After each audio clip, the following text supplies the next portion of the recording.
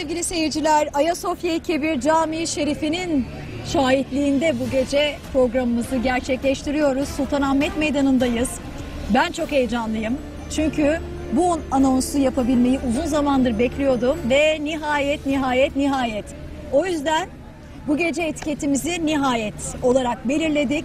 Sizlerden duygularınızı, düşüncelerinizi, sorularınızı bekliyoruz. Ee, bu gece Profesör Doktor Baha Tanman bizlerle birlikte. Hakikaten sanat tarihi dendiğinde özellikle de Osmanlı mimarisi üzerine konuşulduğunda Türkiye'de ilk akla gelen isimlerden, duayenlerden biri. Her ne kadar hocam şimdi kızsa da bana ama Hayır. Sonuna ler koyduğunuz zaman olabilir. ama bugün herkesin keyfi yerinde çok şükür. O yüzden e, buna sinirlenmiyor. Ah, estağfurullah. Sevgili seyirciler, hakikaten heyecanlıyız. Ee, bugüne şahit olmanızı çok isterdim herkesin. Ben e, o şanslılardan biriydim ama bir seyircimizin özellikle yazmış olduğu Merve Çelik diyor ki bizler adına da oradasınız. Bizim yerimize de dua edin. Tüm isteyenlere gelip orada namaz kılmak nasip olsun diye. Amin. Ee, şu anda hala çok kalabalık Sultanahmet Meydanı ve insanların bu anı, bugünü ne kadar heyecanla, istekle beklediklerinin de bir kanıtı. 24 saat açık olacak Ayasofya Camii ve e, ziyaret edilebilecek. Şimdi kısım kısım alıyorlar içeri. Burada tabii dediğim gibi tekbir sesleri heyecanlı, öyle herkes birbirine e, hoş sohbet bir şekilde e, vakit geçiriyor. Ama tabii kalabalık onu söylemem lazım. İçerisi sevgili hocam. Tekrar teşekkür ederim geldiğiniz Ben için. teşekkür ediyorum, Yani benim için ederim. hakikaten heyecanlı bir gün. E, o kadar enteresandı ki böyle çok yakışmıştı. Şimdi ben 50 kere 100 kere belki bilmiyorum sayısını ama Ayasofya'yı e, gelip ziyaret eden birisiyim. Bugün böyle içeri girdiğimde hakikaten öyle bir sinmiş, öyle bir güzel duruyordu ki. O yüzden ilk sorum size şu olacak. Şimdi burası 1500 senedir ayakta. Bunun muhakkak bir hikmeti var. Yani 86 senelik e, müze E, adı olmasının. ilahi hikmet zaten. Evet ilahi hikmet. Ayasofya. Evet evet. Ee, ve 86 senelik müze olma halinin dışında hep burada insanlar ibadetlerini yerine getirmişler. Ve insan şunu düşünüyor. Öyle bir geçmişi var ki yani 3. Ayasofya bugün 3. yapı buradaki. Üçüncü yapı evet. Evet ve hizmete girdiğinde peygamberimizin doğumuna dahi 40 sene var daha. O kadar geçmişe uzanıyor. Şimdi bakıyoruz eee, bu yapıyı ortaya koyan devlet bunun kadar ihtişamlısını yapmamış. Yani 16. yüzyıla kadar falan göremiyoruz. Yani Osmanlı Evet. dönemine kadar göremiyoruz. Çok ciddi bir iddia var ortada. Müthiş bir ihtişam var ortada. Eee, ve nihayet biz cami olarak konuşuyoruz. Neydi bu iddia? Neden bu kadar görkemli bir yapı Ee, inşa yani ettiler? bugün e, huzurunda olduğumuz 3. Ayasofya'nın banisi 1. Justinianus'un bu kadar e, iddialı ve görkemli bir bina yaptırmasının arka planında bir iki sebep var benim kanaatimce ve yani bu kanaatin de paylaşıldığını zannediyorum. Bir kere Doğu ve Batı diye ikiye ayrılmış olan imparatorluğun batı toprakları barbarların eline geçti biliyorsunuz ve e, orada çeşitli devletler kuruldu. Doğu Roma İmparatorluğu'nun başındaki e, 1. Justinianus Büyük Roma İmparatorluğu'nu tekrar kurup ama bu sefer payitaht Roma olmayacak Konstantinopolis olacak. Bu e, yolda bir e, takım e, teşebbüslerde bulunuyor. Onun iki ünlü generali vardır. Biri Belisarius, biri Narses. Onların komutasındaki ordular İtalya'nın bir kısmını, İspanya'nın daha doğrusu İberya diyelim o zaman İspanya biraz modern oluyor ve Tunus'u fethediyorlar.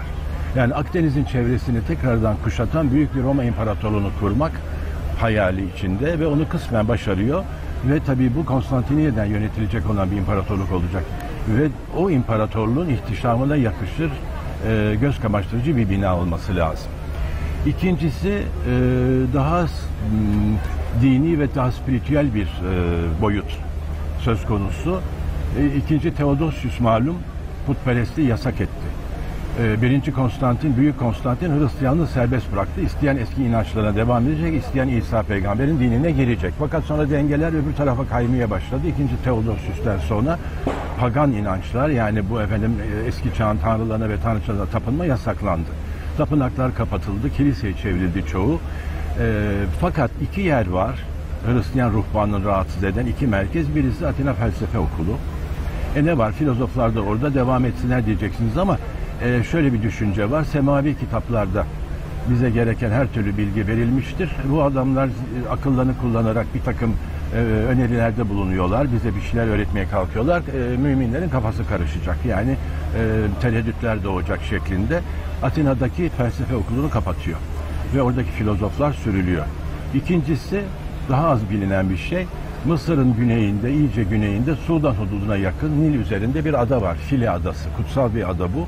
Ve o adada Tanrıça Izis'e tapınanlar hala yaşamaya devam ediyorlar.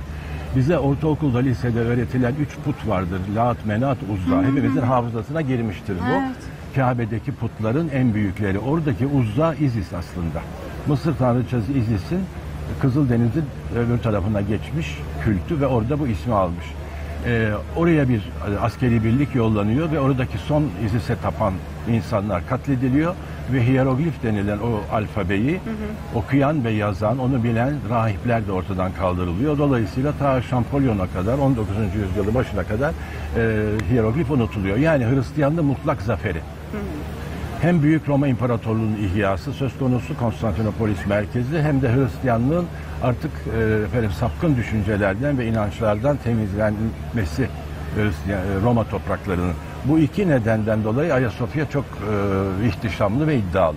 Ve sonrasında da e, Fatih Sultan Mehmet'in o kutlu zafere erişmesi, peygamber müjdesini e, gerçekleştirmesiyle birlikte o zaman e, Osmanlı'nın da yani Fatih Sultan Mehmet'in de buraya yönelmesi ve burayı e, İslamlaştırması kadar doğal bir şey olamaz. Hemen ben şu isimden gideceğim. Ayasofya Kebir Camii Şerifi. Cami-i Şerif bütün camiler için kullanılır. Şimdi benim kanaatimce Ayasofya'yı kebir, kebir büyük demek Arapça malum. Binanın büyüklüğünden ziyade, onun büyük olduğu artık çok belli. O zaman Evet. Süleymaniye kebir de demek lazımdı değil mi? Ee, bir de Küçük Ayasofya var İstanbul'da. Yani Fatih ile 2. Bayezid'in saltanat yıllarında yine kiliseden çevrilmiş fakat onun Hristiyan ismi aslında Ayasofya değil. Bu da çok ilginçtir. Ayasofya o kadar benimsenmiş ki bu da onun yavrusu olsun demişler. Ona Küçük Ayasofya veyahut da Osmanlı kaynaklarında Ayasofya'yı Sagir. Sagir Arapça küçük demek, kebir büyük demek. Bu şeye benziyor. Üsküdar'da iki tane Valide Sultan Camii vardır. Önce e, Atik Valide yapılmış. Atik eski demek ama sonra İskele'de bir daha Valide Sultan Camii olunca ona eski valide buna yeni valide demişler. Burada da Ayasofya'yı kebir Büyük Ayasofya hemen biraz ileride e, tren şimdi e, banliyö tren hattının yanında da Küçük Ayasofya var. Evet. Ee, bu arada sevgili seyircilerimize hemen e, sorularımızdan birini yöneltelim. Bu gece özel bir hediyemiz olacak onlara. Nedir diyeceksiniz? Bugün e, ilk cuma namazında bulunanlara bir de hediye verdiler. Türkiye Diyanet Çok Vakfı. güzel bir hediye ama bu. Ama sevgili hocam o halde hemen size bir tanesini ben çünkü Hayır konuştum. onun için söylemedim. Biliyorum, biliyorum ama Çok benim için bir teşekkür. zevk size bunu hediye Fossatilerin. etmek. Evet, fosa. O kadar güzel ki hem e, harika hazırlamışlar, Çok görmenizi teşekkür istiyorum. ediyor. Ne demek hocam? Sultan Abdülmecit'in emriyle Gaspare Fossati tarafından restore edilen Ayasofya Camii gravürleri. Şimdi öyle bir gravürler var ki birazdan sevgili hocamla da konuşacağız ve böylelikle Osmanlı dönemindeki e, uygulamaları ve o zaman e, bu Sultanahmet Meydanı nasılmış işte nasıl bir külliyeden bahsediyoruz. Ayasofya Camii'nin e, o zaman çevresi neydi neler vardı bunları göreceksiniz. Burada o kadar güzel gravürler var ki ve e, Diyanet Vakfı yayınlarından bu Fossati gravürleri tek tek ve çok da güzel bir kağıda basılmış. İşte size hediye etmek istiyorum. Birkaç seyircimize. Bir dakika şöyle göstereyim. Hatta yakından çekerse yönetmenimiz. Nihayet etiketiyle bize sorunun cevabını veya yorumlarınızı gönderebilirsiniz. İlk sorumuz şu olsun. Sevgili hocamız aslında yayının başında söyledi. Ayasofya ismi ne manaya geliyor? İlk sorumuz bu. Nihayet etiketiyle sizlerden katılımınızı bekliyoruz. Ayrıca e, Instagram'a da bir paylaşım yaparım Öbür soruları birazdan. daha sonra mı yer? Öbür veriyoruz? soruları daha sonra soruyoruz hocam. Teker teker soruyoruz. Şimdi çevresini konuşacağız ama bizim sizinle güzel bir sohbetimiz oldu. Yayın öncesi buluştuk. Orada e, levhalardan bahis O açıldı. sohbeti kayda alsaydık ya. Ay ne güzel olurdu. Şimdi içeri e, girince o levhalar böyle göze o kadar hoş geliyor ki insan e, gözünü çeviremiyor. Ve siz dediniz ki aslında İslam dünyasında böyle çok örneği olan bir durum değildir ama e, var olanların da bir e, aslında e, bulunduğu yerler itibariyle anlamı vardır. Yani özellikle seçilmiştir bazı yerler, bazı isimler diye. Bunu tabii onun bir e, şimdi bu e, e, hattatların daha doğrusu hattat terminolojisinde cami takımı deniyor bunlara. 8 levhadan oluşuyor. E, bu genellikle bunlar yuvarlak levhalar olur. Bazen e, bazı yapılarda mesela İznik Çinisi'ne, İznik Çini atölyelerine sipariş edilmiş olarak duvara sabitlenmiştir. Bazen de sıva üzerine kalem işiyle yazılır ama Ayasofya'da olduğu gibi bazen de eğer o bina zaten mesela bir takım Selçuklu devrinde yapılmış camileri de Osmanlı döneminde bunlar asılmıştır. Ayasofya'nın kiler kadar büyüğü yoktur. 7,5 metre çapında bunlar ve ünlü hattat hem hattat hem bestekar hem de e, ilmiye sınıfından önemli bir kişi Kazasker Mustafa İzzet Efendi'nin hatları. E, isimler şöyledir. Önce ismi Celal'le başlar ve mihrabın sağ üstüne konur. Yani gençler için söylüyorum Allah Celle Celaluhu yazar üzerinde. Ve hat olarak celi sülüs kullanılır. Çünkü Arapça ibareleri sülüs hattı yakışır. Talik hat, İran kökenli talik hat daha çok e, Türkçe ve Farsça metinlerde kullanılır. Ondan sonra mihrabın sol üstünde Hazreti Peygamber'in ismidir. Muhammed Aleyhisselam. Ondan sonra sırayla dört halife sağdan sola doğru. Yani eski yazının sırasını izleyerek Ebu Bekir, Ömer, Osman, Ali, Hasan ve Hüseyin. Ve toplam 8 defa. Bunlara cami takımı deniyor. Sizin bana demin e, sormak istediğiniz şuydu galiba. Yani bu düzen bize özgü müdür? Evet. Bütün İslam dünyasında var mıdır? Evet. Hayır. Bütün İslam dünyasında buna rastlamıyoruz. E, bu Osmanlı kültürünün üretmiş olduğu bir şey. Birçok başka şey gibi. Yani kandil gecesi susamlı simit yemekti bize mahsus. Bu ona göre daha biraz dünyevi ve midevi oldu ama öyle yani. Birçok bunları örfü belde deniyor fıkıh dilinde. Yani e, bölgesel adetler, ananeler. E, dinin dinin umdelerine ters düşmediği müddetçe bunlara riayet edilmiş. Bu cami takımlarının ortaya çıkması biraz da merkezi planlı yani böyle homojen e, yekpare bir ibadet mekanının büyük bir kubbe altında toplanan, bütünleşen bir ibadet mekanı ve onu taşıyan bir takım payeler ve ona destek olan yarım kubbeler olduğu zaman e, anlam kazanıyor. Erken döneme gittiğiniz zaman e, bu cami takımlarının özgün olanlara rastlamıyorsunuz. Dolayısıyla bu e, bizim bugün klasik dönem adını taktığımız yani Fatih'le başlayıp Mimar Sinan'ın o 1538-88 arasında e, Hassabaş mimarı olduğu 50 yıl içinde doruğa ulaşan üslup döneminde yaygınlaşıyor ve daha sonra Avrupa Batı etkilerinin gözlendiği barok Osmanlı barok üslubunda da devam ediyor bu cami takımı. Yani ne İran'da buluyorsunuz ne Arap ülkelerinde ne de Orta Asya'daki e, bizim akrabamız olan diğer Müslümanların e, camilerinde. Hakikaten bu topraklara has bir şey. Ama Tıpkı mesela Osmanlı'nın şeye benziyor hüküm bu. sürdüğü e, coğrafyada benzerlerini ee, Osmanlı döneminde inşa edilmiş olan e, Kahire'de, Suriye'de bir takım camilerde olabilir ama Osmanlı c- dönemine ait yapılardır onlar. Biraz şuna benzetiyorum ben. 17. yüzyılda Hafız Osman'ın icadı olan Hilye-i Şerif vardır. O da yalnız bize özgü bir şeydir. Ve hatta bizim eski kültürü bilmeyen bir takım başka Müslüman ülkelerinden gelenler bunu yadırgarlar. Ay ilk defa görüyoruz ne tuhaf filan. Ben onlara şey diyorum biraz garip bir tabir olacak ama soyut ikona gibi görüyorum onları. Çünkü Hazreti Peygamber'in sureti yapılmıyor. Fakat onun fiziki görünümünü ve bazı hallerini anlatan iki rivayet var. Hazreti Ali ve Abdullah İbni Abbas. İki metin. O metin yuvarlak bir dairenin içine yazılır. Dört köşeye efendim dört tane dairenin içine dört halifenin ismi konur. Yukarıya besmele konur. Aşağıya da e, yine e, Peygamber Efendimizle ilgili bir ayet konur mesela. Biz seni ancak alemlere rahmet olarak gönderdik gibi. Ee, ondan sonra bu hilye-i şerif denir. Bu da mesela tıpkı bu cami takımı gibi 17. asırdan sonra Osmanlı kültürünün bir e, simgesi haline gelmiştir ya da onun onun kendine özgü üretimlerinden biridir diyelim. Şimdi Osmanlı'ya geri döndüğümüzde bugün de baktığımızda aslında e, Ayasofya hakikaten gönüllerde bir numara. Gerçi tabii diyeceksiniz ki Sultanahmet'imiz yok mu? Var. Selimiye'miz yok mu? Elbette var. Ama Ayasofya'yı böyle hep başka bir yere koyuyoruz. E, peki Ayasofya yine özelinde konuşacak olursak. Siz e, harika bir e, fotoğraf göstermiştiniz. Benim daha evvel nasıl hani hiç denk gelmedim ona şaşırdım. Bir e, Kadir Gecesi. Olması gerekiyor çünkü onun Kadir Gecesi ne e, Evet. Kadir Gecesi çekilmiş olmalı Evet. o fotoğraf. Numarasını biliyor musunuz? Onu şimdi ekranlara taşıyacak e, arkadaşlarım. Çok etkileyici bir fotoğraf, çok güzel bir fotoğraf. Bizi böyle sevgili hocam tarihte yolculuk yapsak 28. ve öyle bir evet geldi şu anda hocam.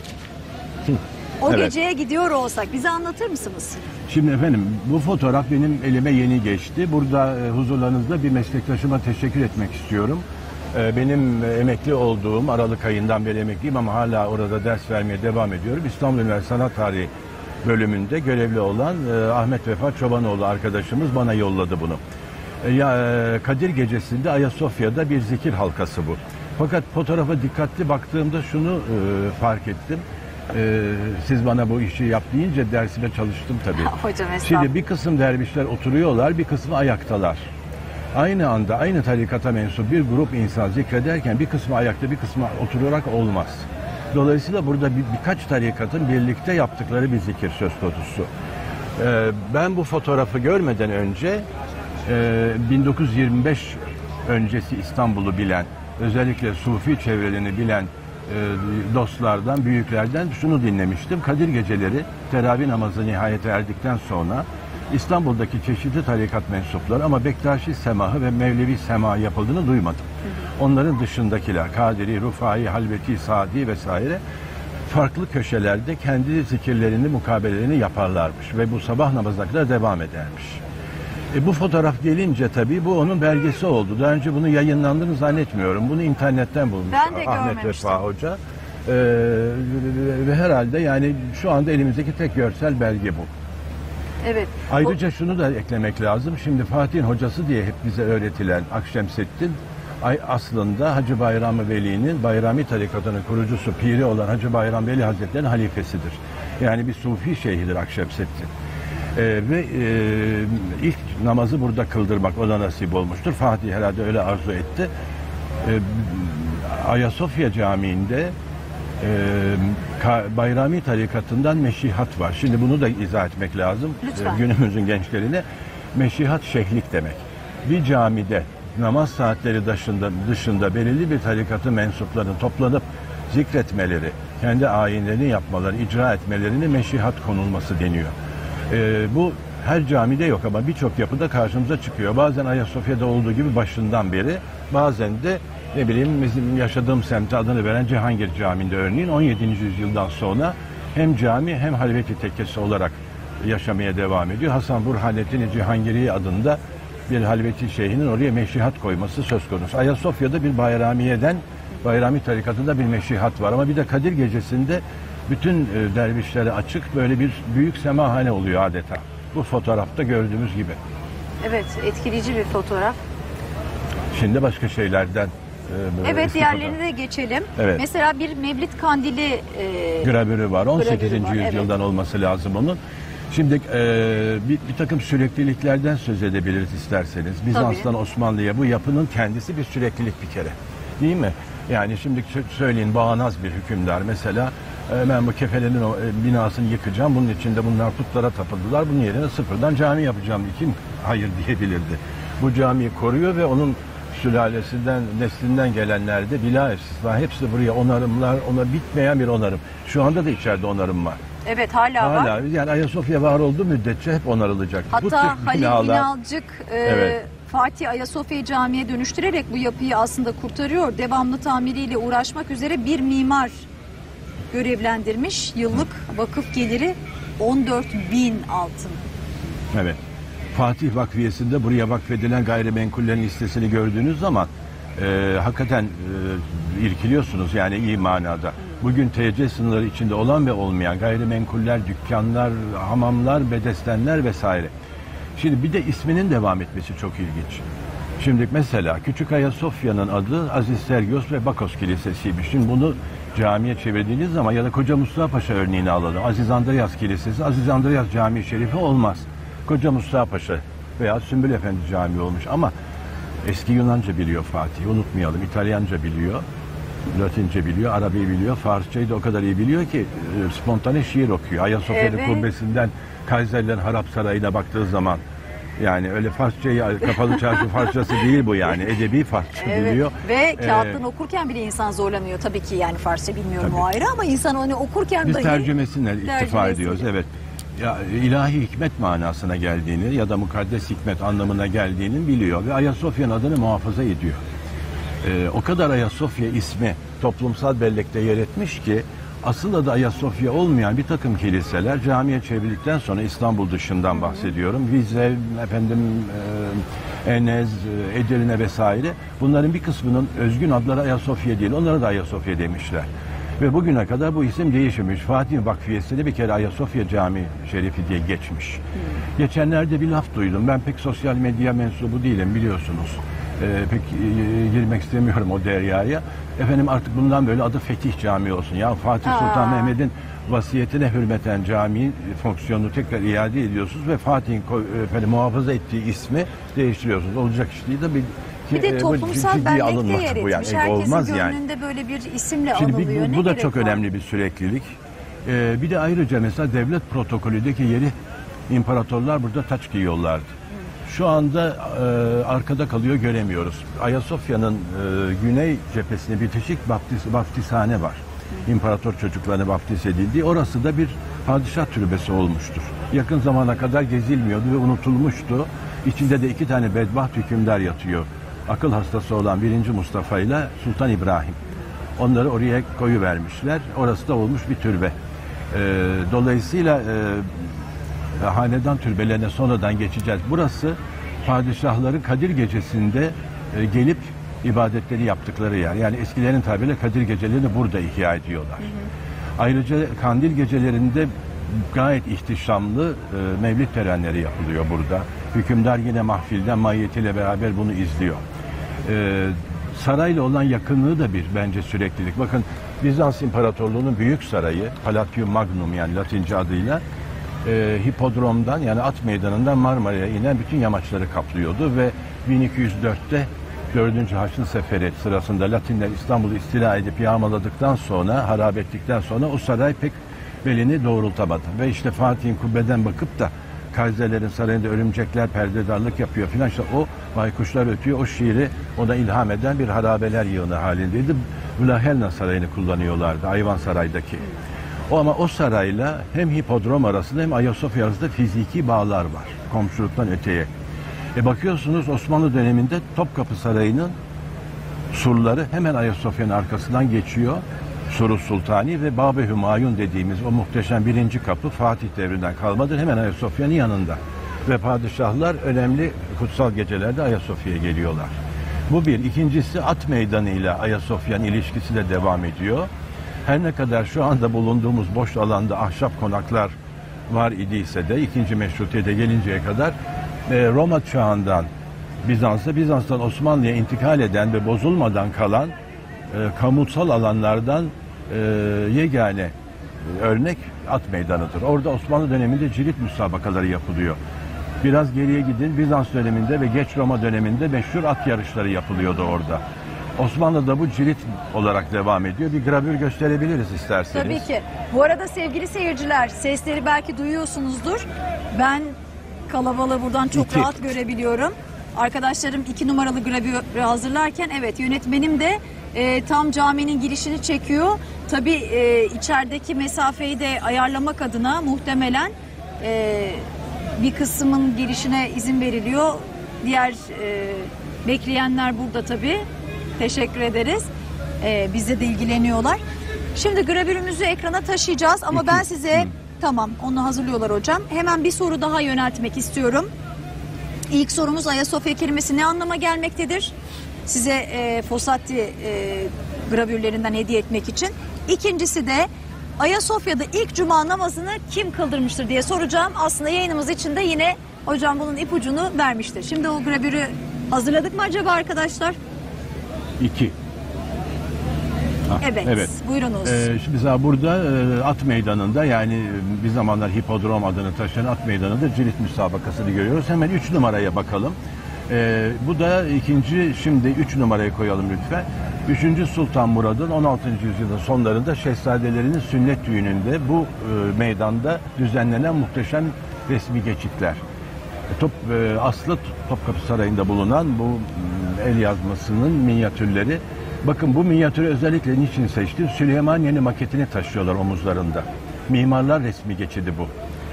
Şu gördüğünüz bina, şey bina değil o, hareket eden ahşap bir maket. Fakat herhalde yandı, yok oldu. Yani binaların Osmanlı döneminde özellikle abidevi binaların maketlerinin yapıldığını da bize gösteriyor. Misil diyorlar makete. E, padişaha Süleymaniye'nin mislini arz etti ve üzerinde konuştular diyor kaynaklar. Yani Sinan'la e, Kanuni Sultan Süleyman Ayasofya'nın maketine bakarak şurası şöyle mi olsun acaba filan diye.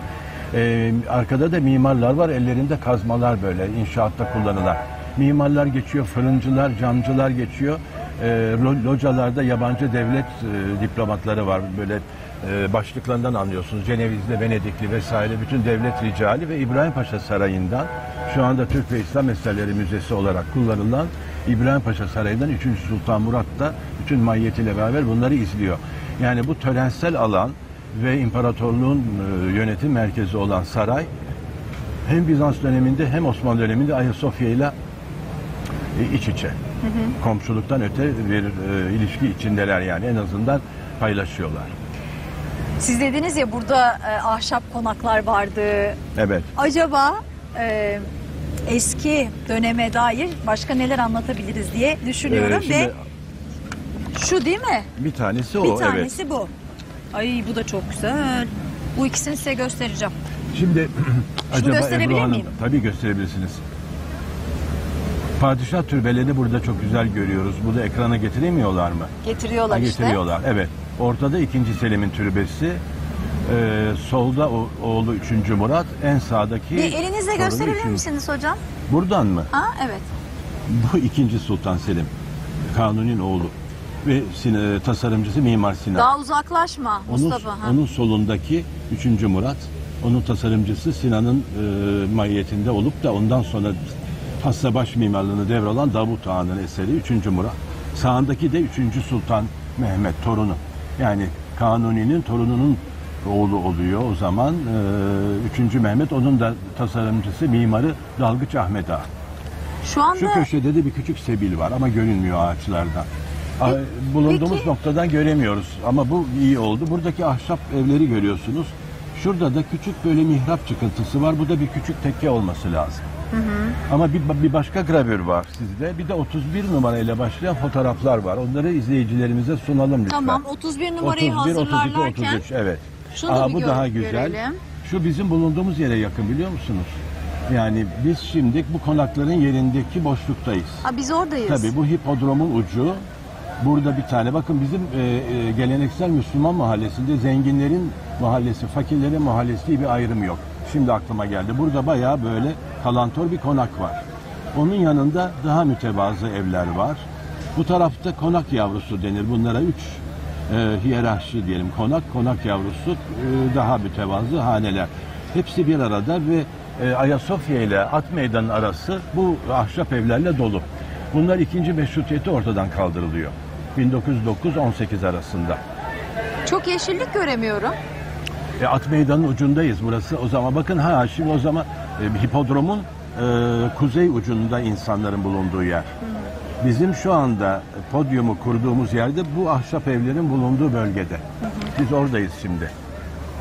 Evet şimdi bakın bunlar daha yeni tarihli. E, 1880'li 90'lı yıllara ait fotoğraflar sırayla görebiliriz. Farklı yerlerde bakın atlı tramvay görülüyor burada. Evet, evet, evet. Evet, nihayetin arkasında kaldı.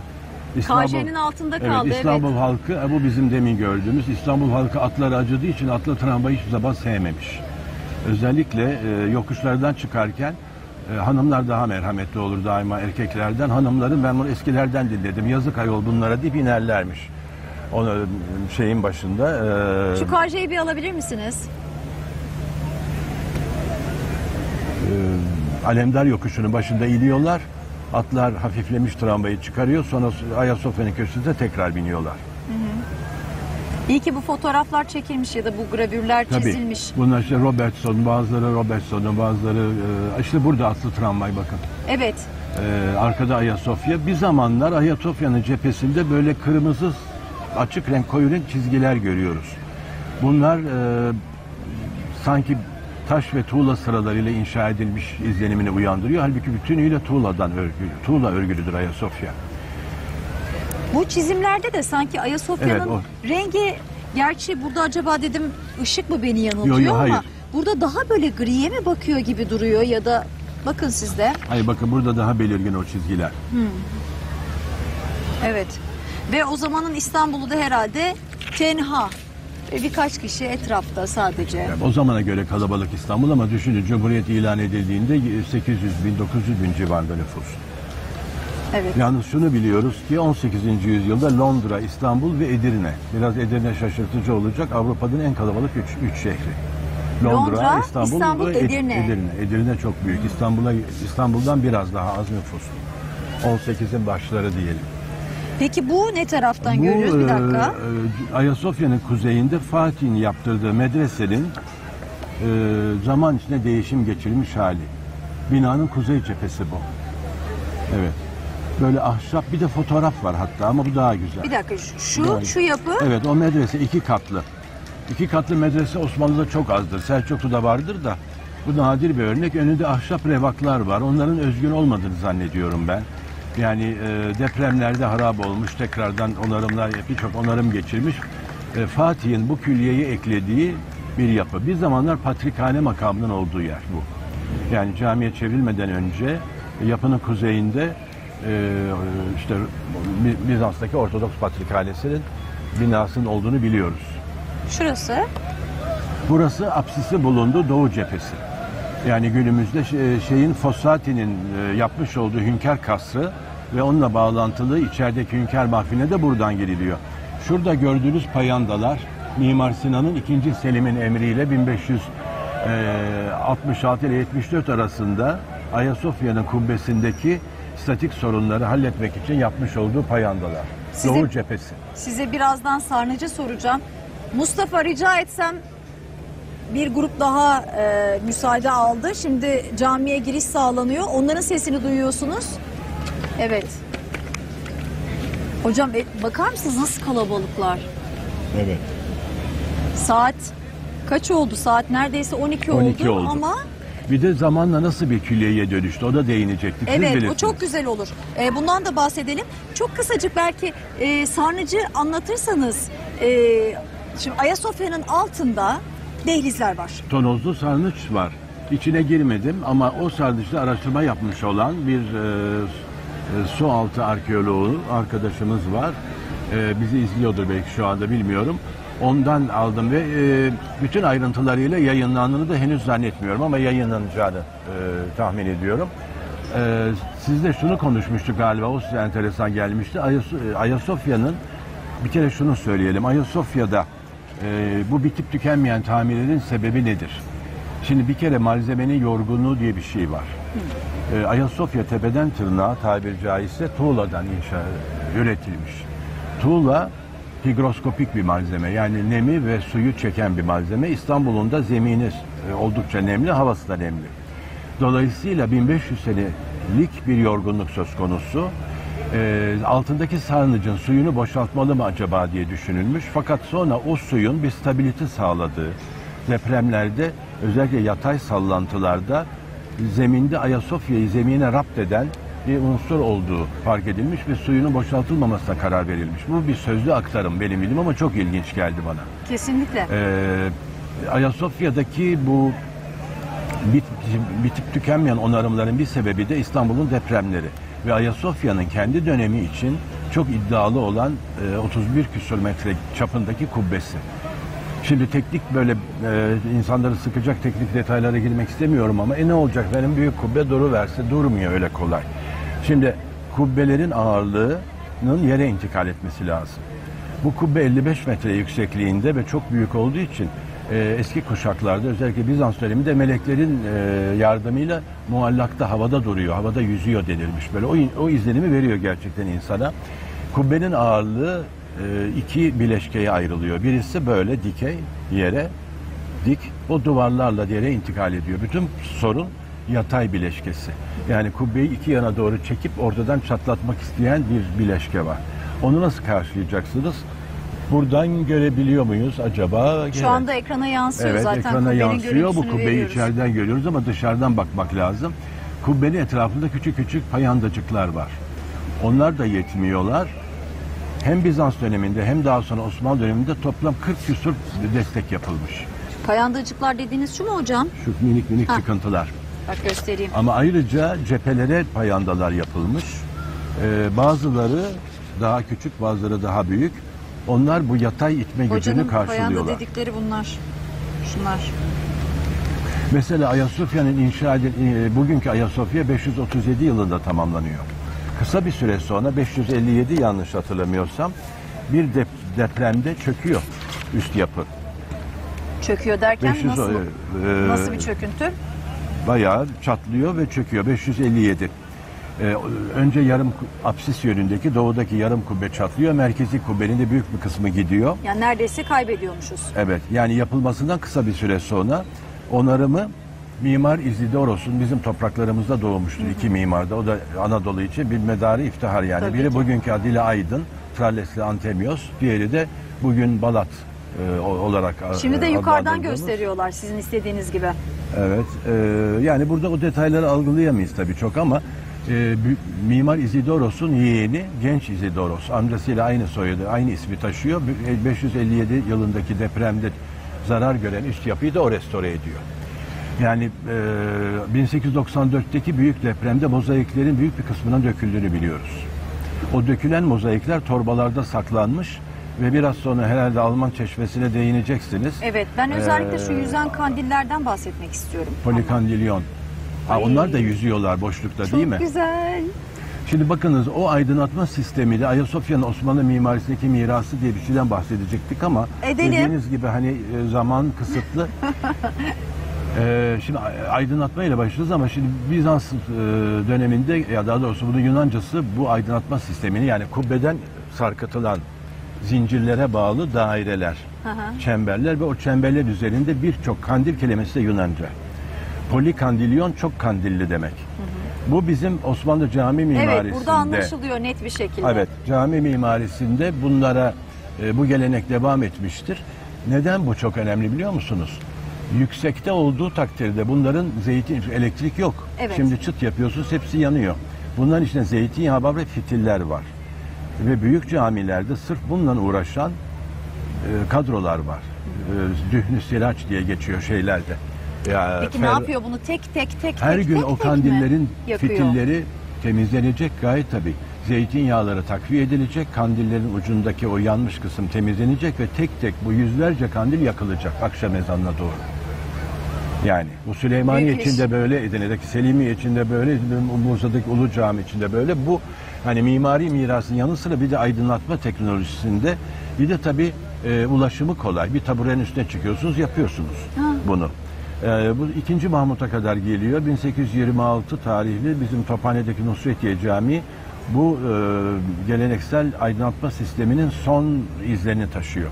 Böyle biraz baroklaştırmış, batılı avizeye biraz benzetmiş. Ondan sonra e, efendim Bohemya e, mamulatı böyle saraylarda gördüğümüz bol şıkırtılı e, efendim kristal avizelerle aydınlanmaya başlıyor. Şeyler Dolmabahçe Camii, Ortaköy Camii filan ama ilk 1830'lara kadar bu devam etmiştir. Peki bu kandiller azıcık ısınmasını da sağlıyor mu? Bir miktar ısıtıyordu kuşkusuz. Aslında biliyor musunuz bu yapılar Ayasofya hep soğuktur çünkü. ben sıcak yaz günlerinde öğrencilik yıllarımda hani sırf serinlemek için mi giriyorsunuz bu kadar zevksiz misiniz değil miyim? Ben Ayasofya'nın iç mekanından hep etkilenmişimdir ama açıkçası e, biraz da e, ondan sonra böyle bu- bunaltıcı bir sıcak günde ondan sonra fakülteden de asistanlığımın başlangıcında diyelim yani benim öğrenciliğim Beşiktaş'ta geçti çünkü. E, böyle sıcak bir günde Beş, e, Beyazıt'tan buraya kadar yürümüşsünüz Ayasofya'nın içi ilaç gibi gelir filan. Ondan sonra bir çünkü e, penceresi azdır ve çok serindir yani kuytu bir kuytu ve serindir içi. Ben üşürüm Ayasofya'da hep. E, ama bir, bir de şu var bakın bu binalar insan nefesiyle de ısınıyorlardı eminim. O kadar kalabalık oluyor mu Vallahi içerisi dolu En azından e, vallahi en azından cuma ve bayram namazlarında lebalep olduğu zaman bu büyük camiler insan nefesiyle bir miktar ısınıyordu ama e, yine de e, insanların özellikle havalar soğuduktan sonra camiye giderken sıkı giyindiklerini biliyoruz. Yani içi köklü e, hırkasını giyiyor filan e, kış aylarında özellikle. Çünkü içeride mangal yakamazsınız. Ne işe yarar bu kocaman şeyde mangal? Şimdi mimari mirastan şu- şunu kastediyorum. Ayasofya'nın merkezdeki o dehşet kubbesi. Yalnız kubbe tam dairesel değil. Bakın o çok ilginç. Kuzey güney şimdi hafif bir elips düşünün. Kuzey-güney doğrultusunda 31 metre 87. e, Doğu-batı doğrultusunda 30-87. Bir metre fark var arada ama gözü algılamıyor onu. Ee, Edirne Selimiyesi'nde 31 metre ile Mimar Sinan doğu-batı doğrultusunda geçmiş. Ama kuzey-güney doğrultusunda 80 santim geride kalmış. Ama yine de tabii o, e, tes- yani hayattayken dikte ettiği biyografisinde onu çok iftiharla bahseder. Ee, Ayasofya'nın kubbesi kadar Müslüman mimarlar büyük kubbe yapamaz diye övünürdü diyor. Ee, Hristiyanlar Allah bize nasip etti diyor. Selimiye Camii'nde diyor biz Ayasofya'yı geçtik diyor. Ye- Yetiş, yetiştik demek belki daha doğru. Sinan'ın e, ruhunu e, efendim, muazzep etmeyelim ama yine de tabii e, çok önemli bir şey. Yani anlaşılan ama bakın toplumsal hassasiyette 1570'li yıllarda böyle bir konu vardı. Bunu bizzat o tezkirelerdeki metinden anlıyoruz. Bu merkezi kubbe doğu ve batı iki yönde iki yarım kubbeyle desteklenmiş. Ve ortada e, de, dehşetli bir mekan ortaya çıkmış. Homojen böyle bir ekipari bir mekan. Şimdi bu iki yarım kubbeyle ortadaki merkezi kubbeyi destekleme bir zincir halinde devam ediyor. Şimdi unutulmuş o zincirin halkalarından biri çok mütevazı olduğu için gözden kaçıyor. Semavi Hoca'nın çok e, ilginç ve çok ayrıntılı bir makalesi vardır o konuda. Allah Ayas- rahmet eylesin. Amin. Onu çok anıyorum tabii Ay- Ayasofya. Tabii. İstanbul Ayasofya bir- denince zaten İstanbul, Semavi Ayasofya, Bey'ce. Osmanlı deyince Semavi Bey'den bahsetmek mümkün değil. Kü- Koca Mustafa Paşa. Kiliseden dönmedir ama üst yapısı tümüyle 2. Beyazıt devrinde yenilenmiştir. Bugünkü üst yapı Bizanslı değildir ve Ayasofya'nın bir minyatürü. Ortada bir kubbe, iki tane yarım kubbe. Hmm. Arkadan Beyazıt Camii, Mimar Yakup Şah adında hiç hayatını bilmediğimiz yalnızca bir isimden ibaret. Bunu biraz daha geliştiriyor ve daha sonra Sinan'ın Selimiyesi. Yani böyle bir e, silsile. Tabi Şehzade Camii'nde Sinan bir de yanlara iki tane yarım kubbe koyarak dört yarım kubbeli merkezi şemayı çıkarıyor ki işte o da e, sağ tarafta benim sağımda sizin solunda solunuzda olan Sultanahmet'te en e, görkemli örneğini Ben çok veriyor. severim Sultanahmet'i. Ben de. Değil mi? Efendim Sultanahmet'in kubbesi yeterince büyük değilmiş. Ben bu Aa. kubbe çapıyla binanın yani bir mimarinin itibarını ya da binanın e, mimari hiyerarşideki yerini kubbe çapına göre ayarlamayı hiç anlamıyorum. Evet. Şimdi bir de mesela bazı mekanlar vardır, e, bazı camiler. İçi girdiğiniz anda sizi sarar. Benim Değil mi? için Bursa Ulu Cami öyledir mesela. Çok severim. Efendim kubbeleri Çok 10, sa- severim. 10, 10 metreymiş. Evet 20 tane yan yana 10 metrelik kubbe var. Üstelik cemaati bölen payeler var ama o cami, Ulu Cami'ye girdiğim zaman bir türlü çıkmak istemem. Yani e, hani ibadet maksadıyla diyelim ki girdik, ibadet bitti.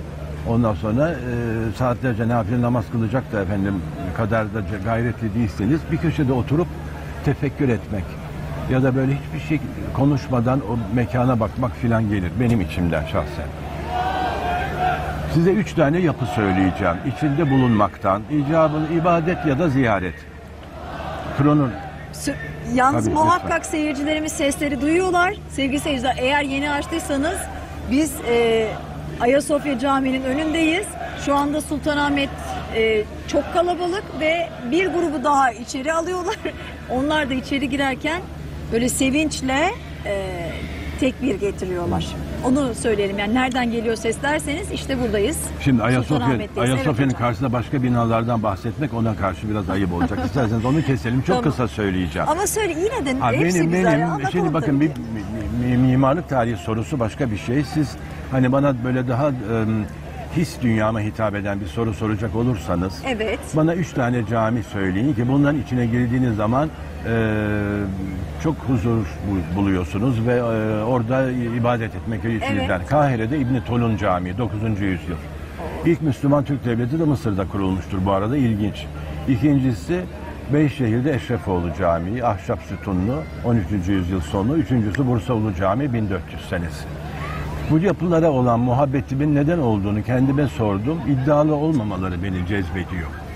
Süleymaniye, Sultanahmet, Ayasofya, Selimiye, Şayan, Hürmet muhteşem binalar ama hepsinde bir iddia var.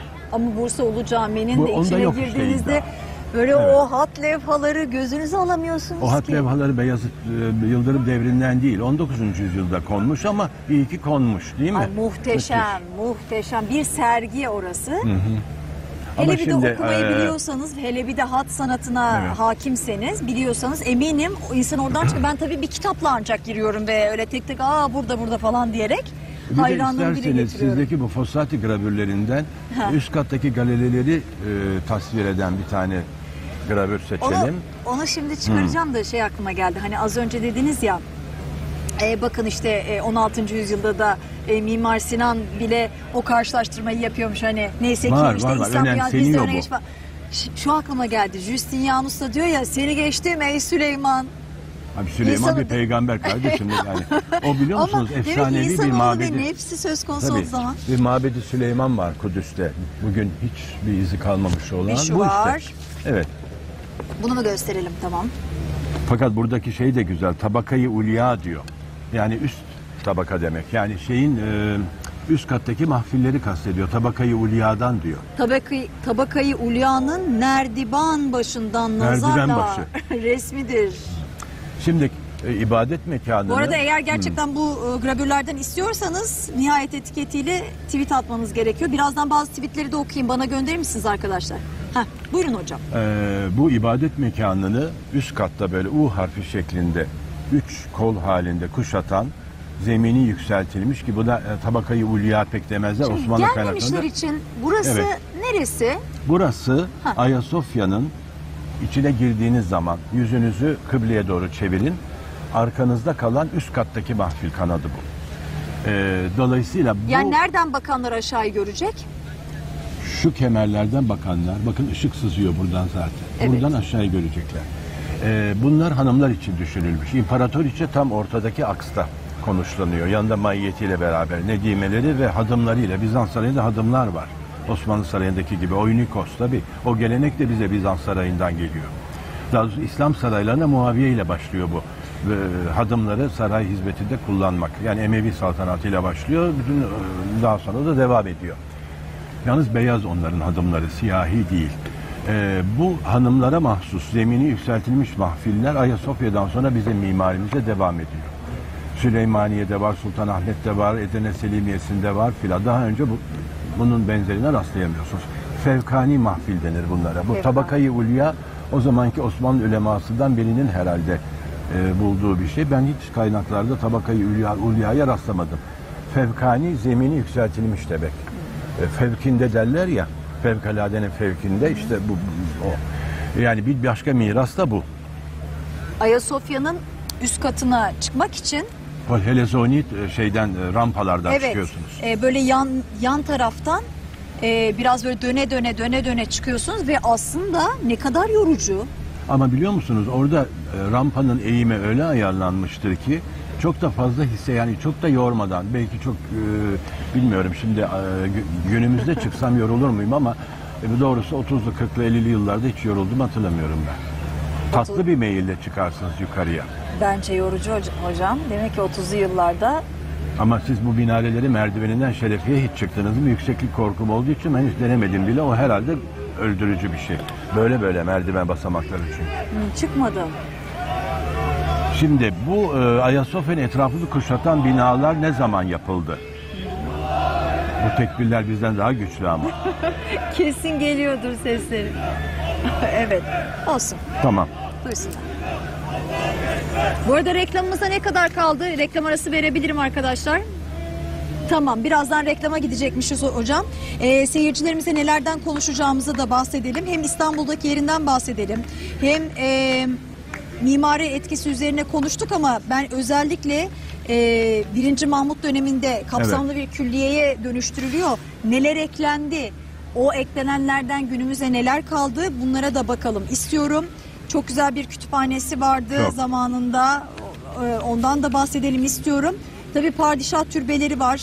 Bunu da konuşalım. Ona kısaca değindik ama en azından birkaç tanesinden mesela kapı ve enterior resmi koyalım. Çünkü orada ancak dışarıdan kitlesel olur.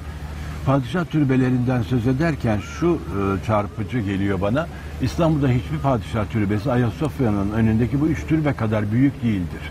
Mesela Fatih ve Kanuni 2. Selim'den 3. Murat'tan filan çok daha e, güçlü ve daha tantanalı padişahlar değil mi? Onların türbeleri bile boyut olarak 2. Selim, 3. Murat ve 3. Mehmet türbelerinin bu Ayasofya türbeleri yanında ufak kalır. Ayasofya'nın o azametli kitlesinin önünde ezilmemek için ona uygun bir proporsiyonda yapılmışlar. Biraz sonra şadırvandan bahsedebiliriz isterseniz. Evet, e, ben Ya da şimdi. mahfilden de bahsetmek istiyorum. Ama şimdi bir reklam arası verelim. Tamam. Reklamlardan sonra devam edelim. Biz de o sırada sosyal medyadan siz neyi merak ettiniz ve nasıl yorumlarda bulundunuz buna bakacağız. Birazdan buradayız. Devam ediyoruz sevgili seyirciler. Instagram'dan, Twitter'dan sizlerden çok güzel mesajlar geliyor. İlgi de yoğun. Hatta bir sorumuzun cevabı Akşemseddin'de TT yapmışız. Ne güzel konuşuluyor. Böyle ben de sizden öğreniyorum TT'nin ne olduğunu. Evet. Sevgili seyirciler biz burada sohbetimizi sürdürürken yönetmen arkadaşım da çekecektir muhakkak. Yine e, akın akın Ayasofya'ya giriyorlar. E, bu görüntüyü görmek güzel. Böyle bir geceye, böyle bir güne şahitlik etmek çok güzel. Nihayet etiketini bugün kullanıyoruz demiştim. Ve size iki soru sorduk. Hadi bir tane daha sorayım çünkü e, bu gravürlerden isteyen çok var. Sağ olsunlar. E, Diyanet İşleri'nden de bizi kırmadılar. Hasan Bey'e buradan Hasan Güçlü'ye de çok e, teşekkür ediyorum ve selamlarımı gönderiyorum. E, elimden geldiğince fazla seyircimize bu gravürlerden ulaştırmak istiyorum. Şimdi sevgili seyirciler size ne sorduk? Ayasofya kelimesi ne anlama gelmektedir? Yalnız ben anlamadım. Ee, Meryem Ana diyen çok oldu bununla ilgili. Ne neden? Ee, herhalde anlamını bilmedikleri için ama şöyle bir teva, tevafuk var. Ortodoksların itikadına göre İstanbul Meryem Hazreti Meryem'in manevi koruması altındadır. Onların inancına göre. Ha belki oradan mı acaba Onu bildikleri için bu cevabı verdiklerini zannetmiyorum. Ee, Evet, o enteresan. şeyde kültür coğrafyasında her şehrin bir manevi koruyucusu vardır. Konstantiniye'nin de koruyucusu Hazreti Meryem'dir Rumlara göre. Bir seyircimiz ikinci sorumuz da şuydu sizlere. İsterseniz hala yazabilirsiniz. Ayasofya'da ilk cuma namazını kim kıldırmıştır diye sorduk. Diyanet İşleri Başkanımız e, Ali Erbaş Hoca'yı da yazanlar var da biz Ayasofya'nın tarihinde ilk kim kıldırmıştır diye sorduk. Bir sorumuz daha var. Şimdi Hünkar Mahfili'ni de konuşalım birazdan. Hünkar Mahfili hangi padişah döneminde yapılmıştır? Bugünkü. bugünkü. Bu da nihayet etiketiyle gönderebileceğiniz bir diğer sorumuz olsun. Ee, birkaç tane seyirci sorusunu yönelteyim mi size? Tabii. Hızlı hızlı. Tabii. Sema Gedik sormuş Instagram'dan. Diyor ki Ayasofya Camii'deki iskele neden kaldırılmadı da üstü bordo kumaşla kaplandı merak ettim. E, çünkü onarım devam ediyor. Ve e, uzun- çok uzun vadeli ve çok zor bir onarım bu. Yani e, tuğla dokuda bir takım e, tehlikeli noktalar tespit ettiğiniz zaman oraya özel kimyasalar zerk ediliyor. Çok dikkatli olmak lazım. Orada bir yanlış yaptığınız zaman orayı tamir etmek yerine tahrip de edebiliyorsunuz. Yani bu e, ihmalden kaynaklanan bir şey değil.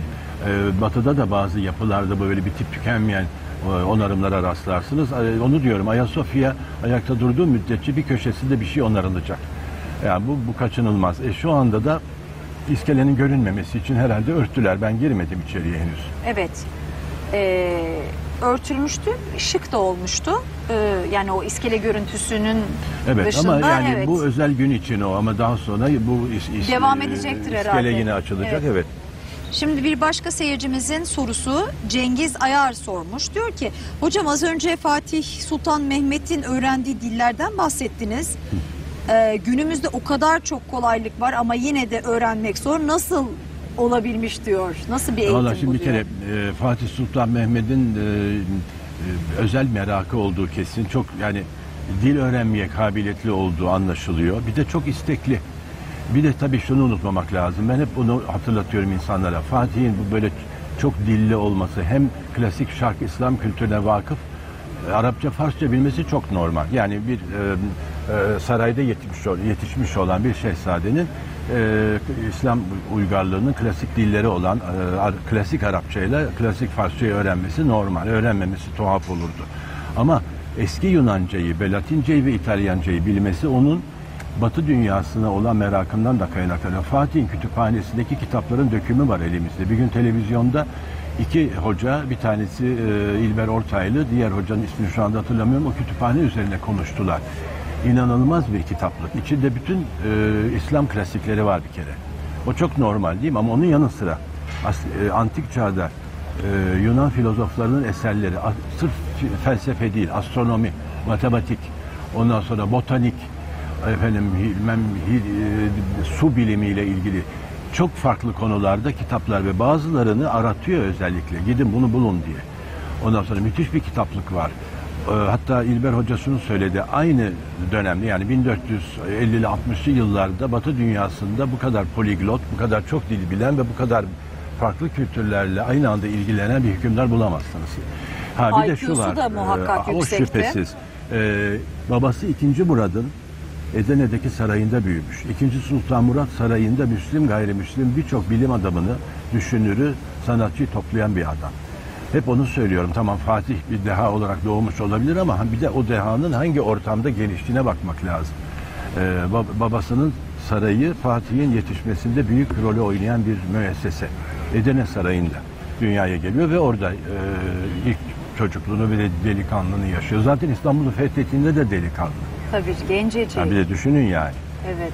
Ee, şunu da söylemek lazım. Tabii ki ecdadımızla gurur duyuyoruz. Ee, güzel taraflarını örnek alacağız. Yanlışlardan da kendimize dersler çıkaracağız. gayet Burası tabii. bir muhakkak ama hani örnek alırken onun kitaba olan tutkusu, e, farklı alanlara olan ilgisi, kendini kültürel manada yetiştirmesi, Hatta bakın, yani e, bir formasyonun gün- bu kadar güçlü olmasını da artık e, kendimize bir, bir, örnek alalım. ismi lazım. Bir sunucuyla yine İlber Hoca'yı analım sohbet ediyorlardı.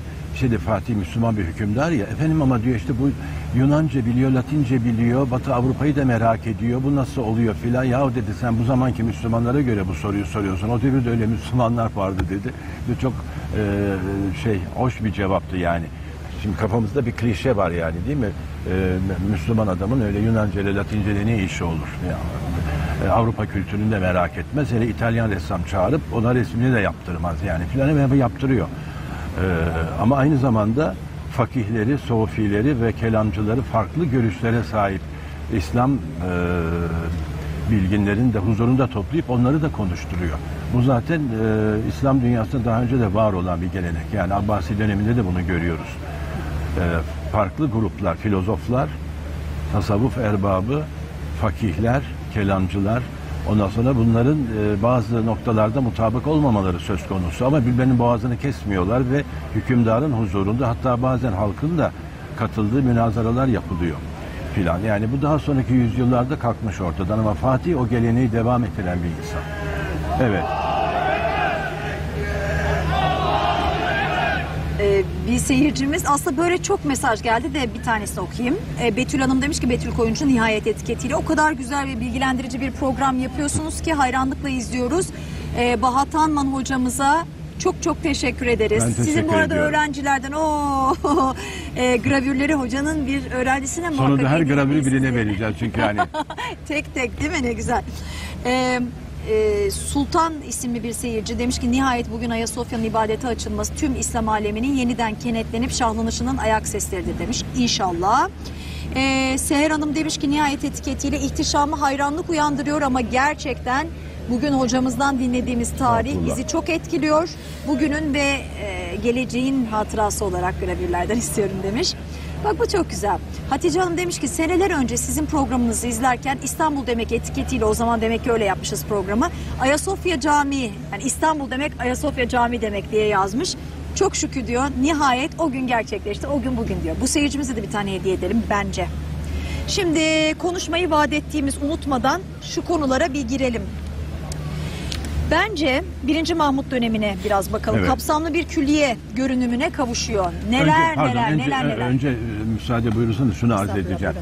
Şimdi bu e, Osmanlı Devleti onarımların hepsini saymaya kalkarsak sabah ezanını buluruz herhalde.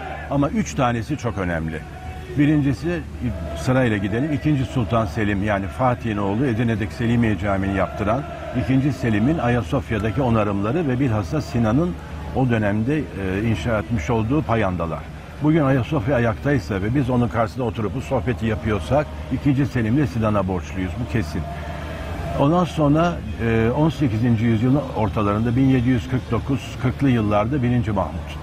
1. Mahmut patron Halil isyanında 1730'da tahta geçmiştir ve o anarşik ortamı ortadan kaldırarak devlete çeki düzen vermiştir.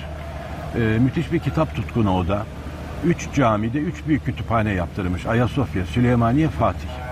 O camilere vakfına bağlı kütüphaneler bunlar. Bugün o kütüphanelerin kitapları Süleymaniye Kütüphanesi'ne toplanmış durumda. Yani Ayasofya kitapları, işte Süleymaniye, e, e, Süleymaniye Camii'nden gelen kitaplar diye böyle farklı fonlar halinde.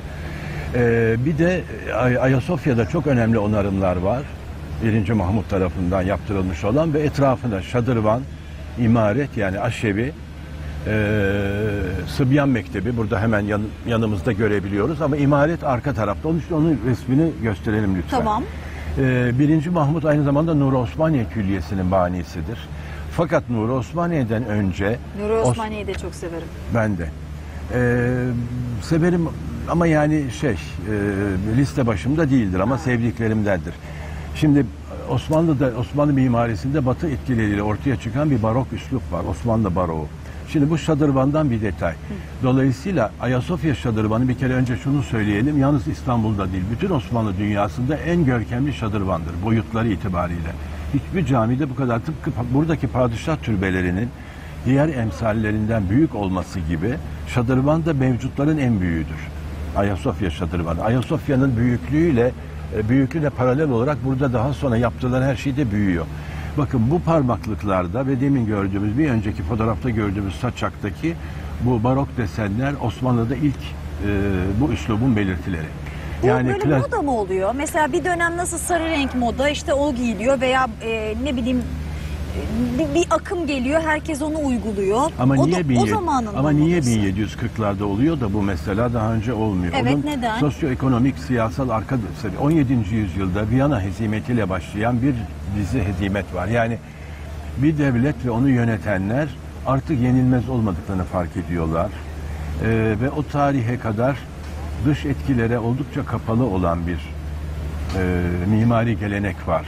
İlk defa 1740'lı yıllarda bunun kırıldığını görüyoruz. Sultan e, bu, buradaki uygulamalar ilk denemeler. Ayasofya'nın şadırvanı birazdan imaret kapısına bakalım. 8 9 10 numaralar. Yani aslında e, artık yenilebilir olduğunu fark ediyor ve e, gücünün kırıldığı karşı cepheye karşı bir kendince Yani bir ıslahat hareketleri yapılırken artık e, içinden bir türlü çıkmadıkları klasik yani bir normları örnek alma durumu başlıyor. Klasik normları kırıp başka bir şey olmak. Ama bir barok, e, Osmanlı baroğu diyoruz. Biz daha sonra rokoko diyoruz filan. Evet bakın şimdi imaretin kapısını görüyoruz. Bu kemer, buradaki kemer biçimi, burada gördüğümüz es kıvrımları, bu gravür daha güzel hatta. Bu daha önce Osmanlı mimarlığında görmediğimiz bir şey. Ama gelenekten kalan bir şey var, geniş saçak. O yerli bir şey. Onun, ondan vazgeçmiyoruz. Bu barok etiketini biz yakın bir tarihte e, sanat tarihçileri olarak bunu e, e, koyduk. Osmanlı bu üslubu nasıl adlandırıyordu? Belki merak edersiniz. Tarzı cedid diyor. Yeni üslup diyor. Aa, tarzı cedid. Tarzı cedid diyor. E, bir de resm, resm e, design demek Osmanlı'da. Resmi cedid diyor. Resmi peyda diyor. Yeni peyda olmuş resim. E, orada ilginç bir şey var. E, yabancı kaynaklarda bu geçiyor. Kilise planları getirtilmiş Avrupa'da. Ee, Nur Osmaniye Camii'de acaba Avrupa'daki kiliselerin planlarından ilham alarak yeni bir cami tasarımı yapabilir miyiz diye ulema buna karşı çıkmış.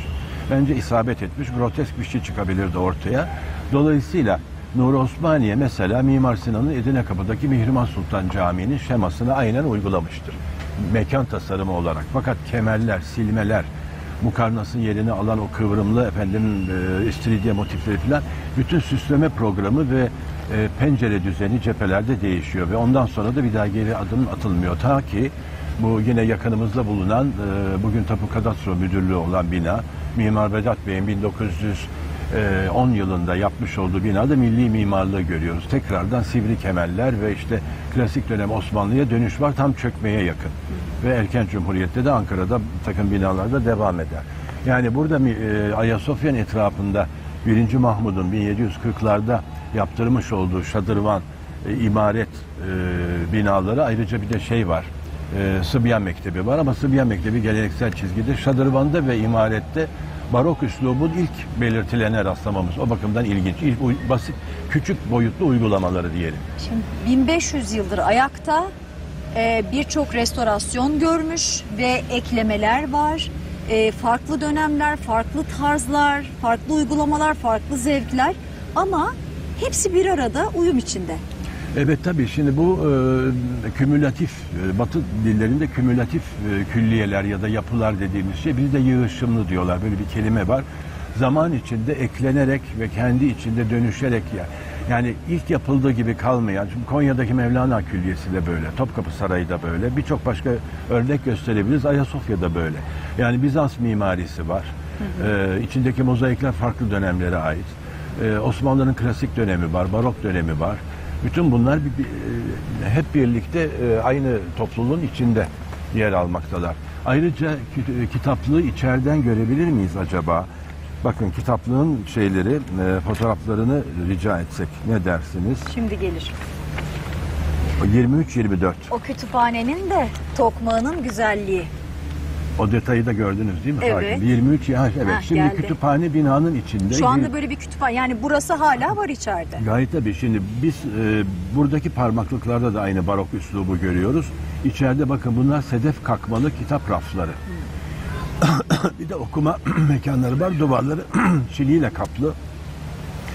Evet böyle e, sedirleri olan kitap koyacak nişler var duvarlarda.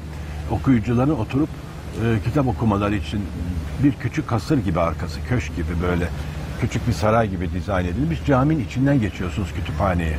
Ayasofya girdiğiniz zaman sağ tarafta yani bizim tarafta kalıyor. Güney cephesinde binanın içinden geçilen ve bu gördüğünüz cephedeki payeler arasında yerleştirilmiş. O duvarı çinilerle süslü arkada kitapların saklandığı ve okuma oku- okuma mekanı var. Yani e, geldi buraya diyelim ki işte öğle namazını kıldı, vakti var.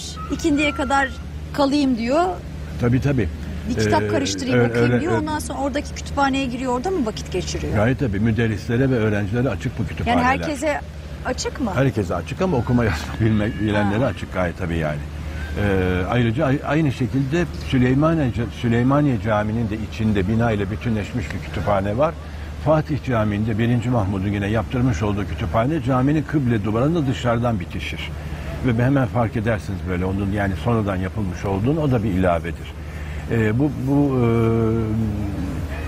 e, ondan sonra kütüphaneler çoğalıyor Osmanlı şeyinde mimarisinin e, programında. Ne bir kadar de, güzel. Bir de köşede küçük bir sebil var. Onu da isterseniz es geçmeyelim. Çok mütevazı da arada kaynamasın. 22 e, pardon pardon pardon bir dakika. 22 numara Sıbyan Mektebi yani ilk mektep. 16 numaraya bakalım. Sebil'in ne olduğunu tabii bizim sanat tarihi öğrencileri bilir ama izleyicilerimizin evet. Bu 17. yüzyıla ait e, bazı araştırmacılara göre Sultan İbrahim'in vakfı. Ama çok kesin değil. Bu Sebil tam köşede, Güneydoğu köşesinde yer alıyor. Bu parmaklıklı pencerelerin altında mermer küçük açıklıklar görüyorsunuz. Oradan size su ve şerbet sunuluyor. Sebil ile çeşmenin farkı şu. Sebil musluğu açıyorsunuz, su akıyor. Sebilde ise içerideki bir görevli size içilecek şeyi ikram ediyor.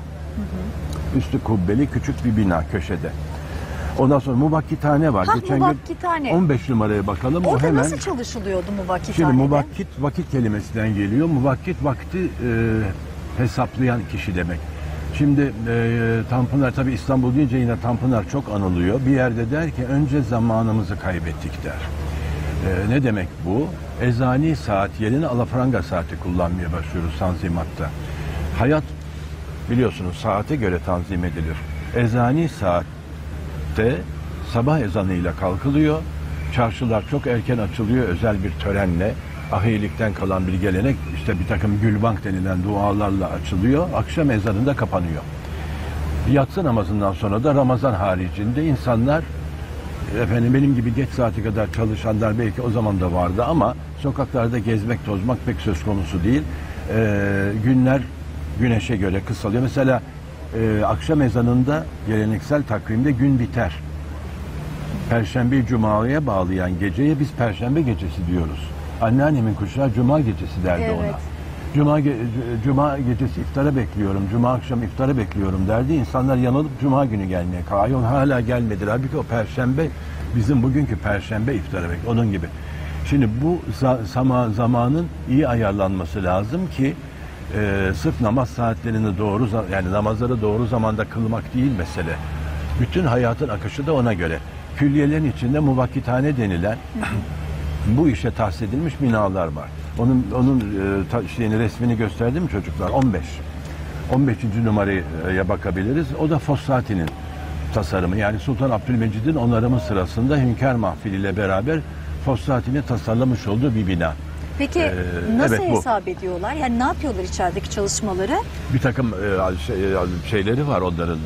E, Yöntemleri. Rubu tahtaları var vesaire. Yani onun e, teknik şeyine vakıf değilim doğrusu.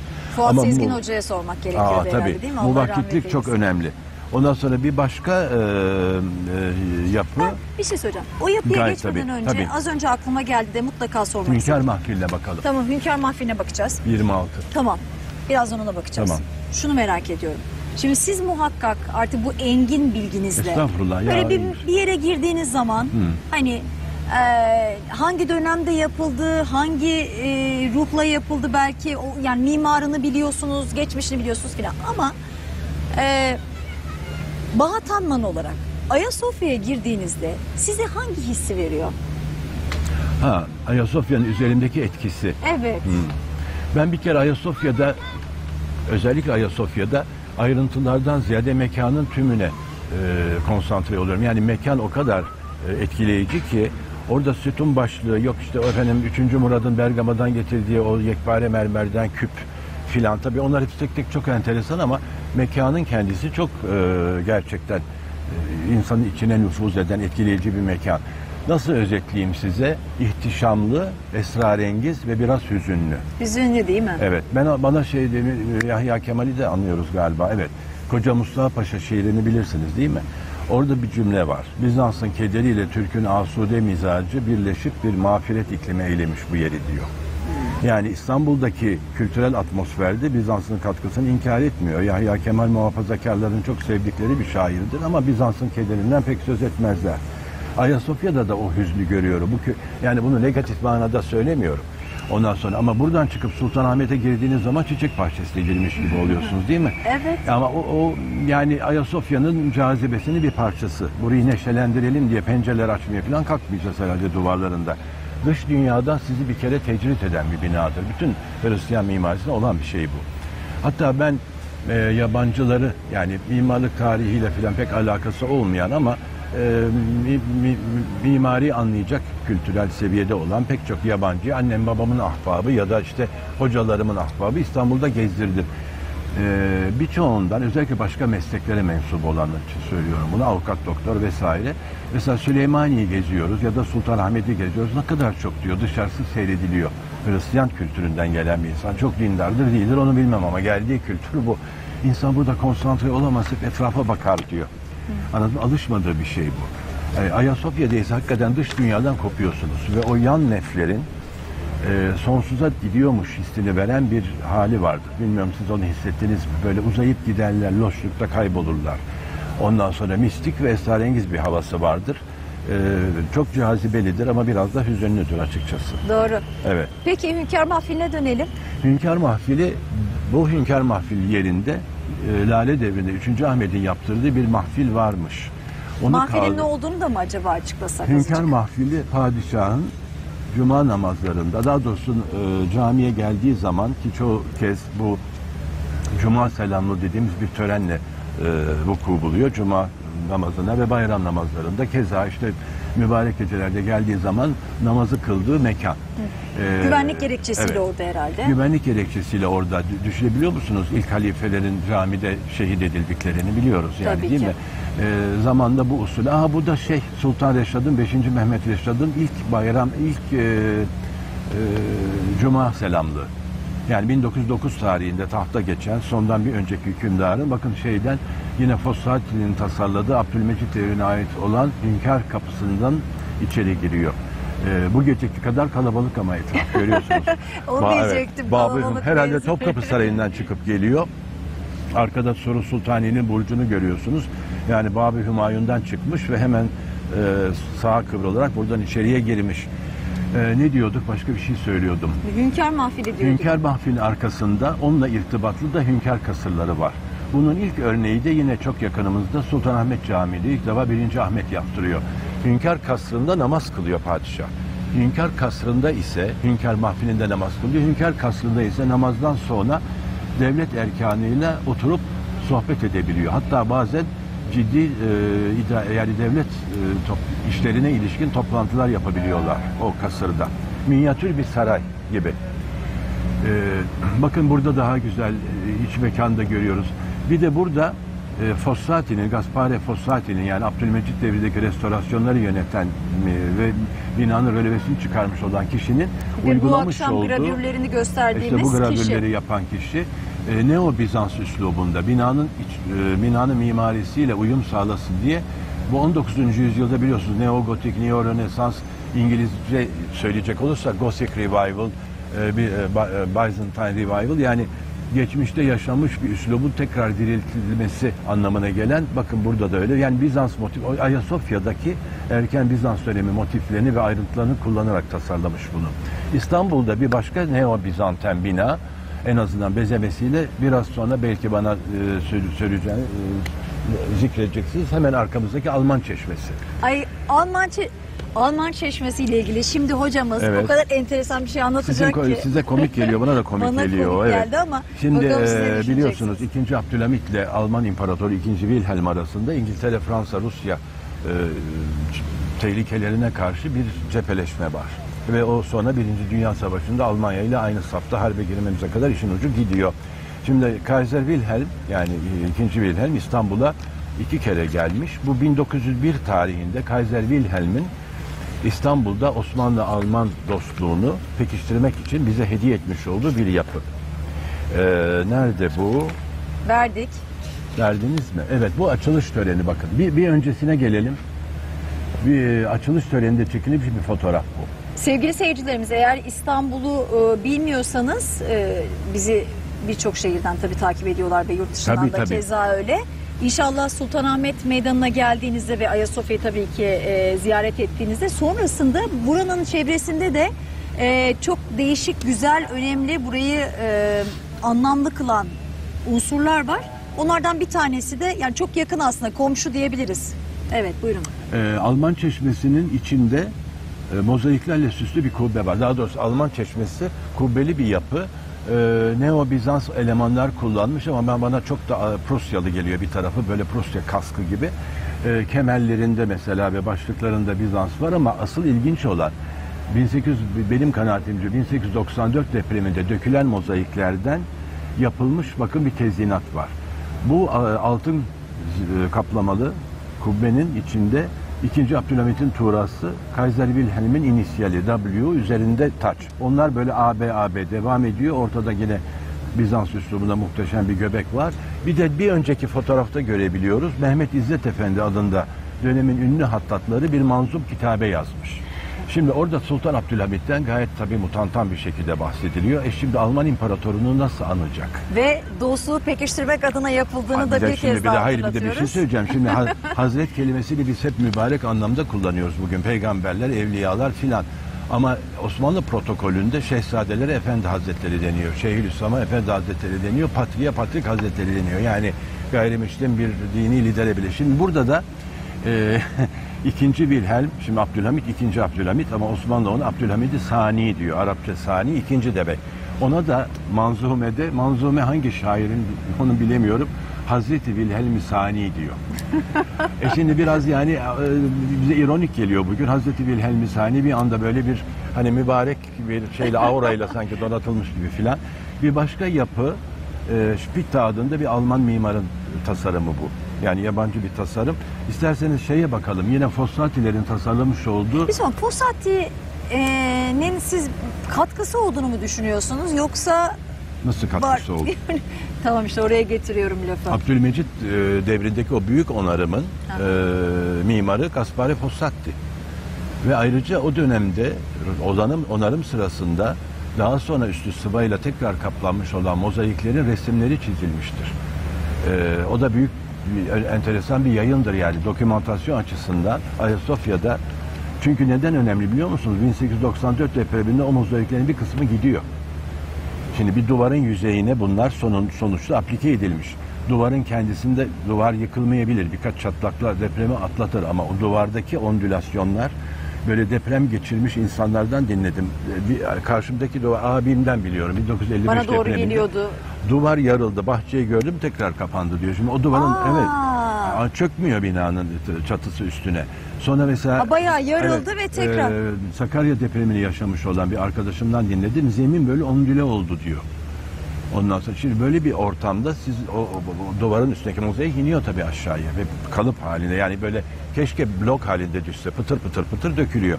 Onları kullanarak bu Hazreti Wilhelm Sani'nin şeyini çeşmesini yapmışlar. Fossatilerin e, bir de muhteşem bir tasarlamış oldukları çok görkemli iddialı bir bina var. Bugün yerinde yeller esiyor. 1933'te yanmış. E, Ayasofya ile Sultanahmet'in arasında dur bakalım onu e, doğru söyleyelim. Yet- 37-38 lütfen.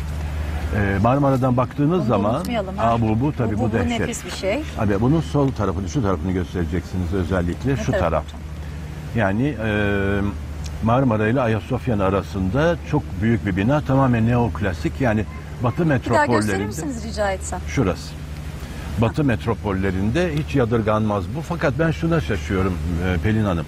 Ayasofya'yı bu kadar yakından incelemiş, restorasyonu yapmış bir insan. O mimari anlamış olması lazım değil mi? Sultanahmet de karşısında.